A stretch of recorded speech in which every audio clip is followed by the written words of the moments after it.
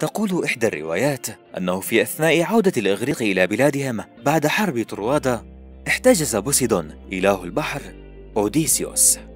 فانقطعت أخبار الأخير عن أسرته حتى ظن الجميع أنه مات. عدا زوجته بينولوبي التي لم تفقد الأمل من عودته.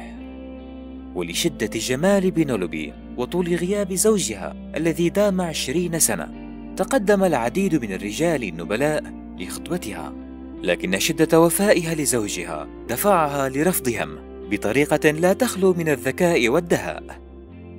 أخبرتهم أنها ستختار أحدهم عند انتهائها من حياكة غطاء كفن لوالد زوجها لارتس لكنها كانت في كل ليلة تزيل جزءا من الغطاء الذي تحيكه نهارا كي لا ينتهي إلى أن كشفها أحد الخدم. عندها أعلنت بينولوبي أنها ستتزوج الخاطب الذي يستطيع إطلاق سهم من اثنتي عشرة حلقة إلى هدف منصوب لأنها تعلم أن زوجها الوحيد القادر على فعل ذلك فباءت جميع المحاولات بالفشل.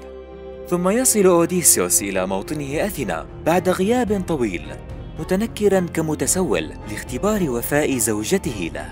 وفي رواية ثانية للتخفي عن عيون أعدائه فأطلق سهمه مخترقا الحلقات مصيبا بذلك الهدف.